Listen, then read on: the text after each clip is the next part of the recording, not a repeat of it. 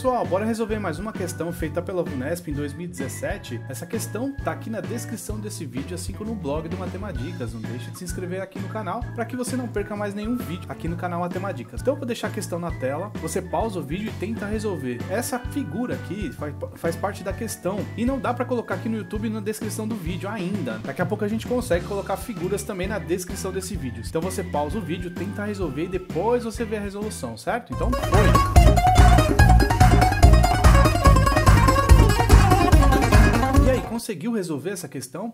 Ela é bem tranquila na parte de geometria, não tem muita coisa mirabolante aqui. O que você tem que lembrar, conceito de área basicamente. Então, vamos ler a questão, separar os dados e fazer as contas. Vocês vão ver que é bem tranquila mesmo. E eu deixei aqui, ó, isso aqui escrito fora de escala, porque é para a gente não pensar, visualizar a figura e sair fazendo conta com os pedaços. Por exemplo, se aqui vale 15, aqui está aparecendo com metade, é 7,5, não tem nada a ver isso. O que vale são os números. Então vamos fazer as contas, vamos ler o enunciado, para depois a gente ter certeza do que a gente está fazendo, certo? Um terreno retangular ABCD, então ABCD, então isso aqui é um retângulo. Então se é um retângulo, esse lado é diferente desse. Com AD igual a 15 metros, então tá aqui o segmento AD AD 15 metros, será dividido em dois lotes, conforme mostra a figura. Então, lote 1 e lote 2. Continuando, sabendo-se que SC esse traço aqui em cima significa segmento, pedaço de reta. SC é igual a 2 terços de AD.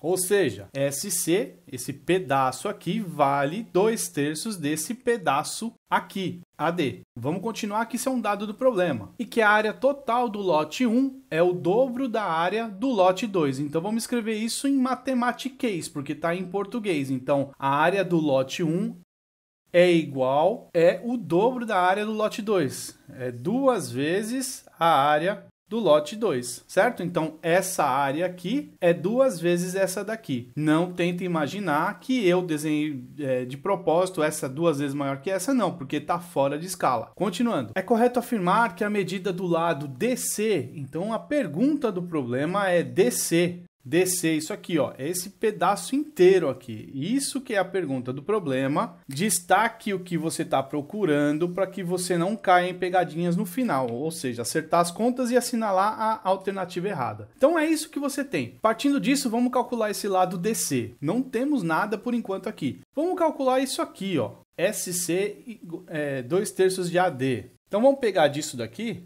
SC é igual a 2 terços de AD. AD vale 15, então aqui é 15. Se você tem dúvida nessas multiplicações de frações, operações com frações, clica nessa letra aí que tem uma aula sobre essas operações. Então vai ser SC, segmento SC, igual a 2 terços de 15, ou 2 vezes 15, 30, dividido por 3, SC igual a 10. Quer dizer que o segmento SC, esse pedacinho aqui, vale 10. 10 metros, está tudo em metro. Continuando, porque a gente ainda não consegue achar esse lado total, falta esse pedacinho aqui. Como que a gente vai achar? Por isso daqui, ó. A área 1 é igual a duas vezes a área 2. Vamos ver quanto vale essa área 2 aqui. A área de um quadrilátero é a multiplicação da base pela altura, ou lado vezes lado. Se você tem dúvida em áreas, perímetros, volume, clica nessa letra aí que tem uma aula de geometria básica para você entender esses conceitos. Então vamos fazer isso daqui. A área do lote 2 2, então vai ficar aqui, nesse cantinho aqui. A área do lote 2 é igual a 10 vezes 15, porque aqui também vale 15. Então, ó, 15 vezes 10 ou 10 vezes 15. Então, aqui, ó, 15 vezes 10. 15 vezes 10 vai dar 150 metros quadrados. É essa área aqui que vale 150 metros quadrados. Tudo isso aqui. Diante disso, a gente tem esse cara aqui, e ele está aqui e a gente tem a área 1. A área 1 é duas vezes a área 2. Então vamos colocar aqui, ó, a área 1 é duas vezes a área 2. A área 1 é igual a duas vezes 150. A área 1 é igual a 300 metros quadrados. A área 1, que é esse cara do lote 1 aqui, ó, 300 metros quadrados. Só que a gente não está em busca nem da área 2 nem da área 1.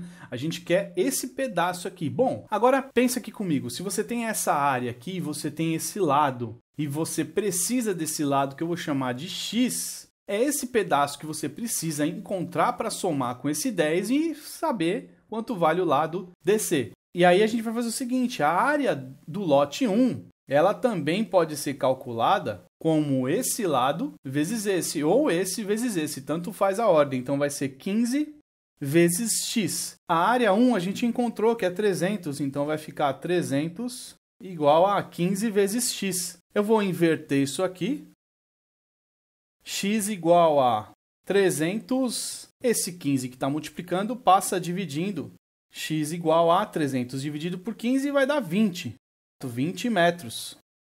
Se você for afobado e não prestar atenção no que você está procurando, você vai assinalar a alternativa C dessa versão dessa prova, que vale 20. Mas na verdade a gente quer esse x, que vale 20, mais esse 10 que a gente calculou aqui. Então a gente tem que somar mais 10 aqui e encontrar 30 metros.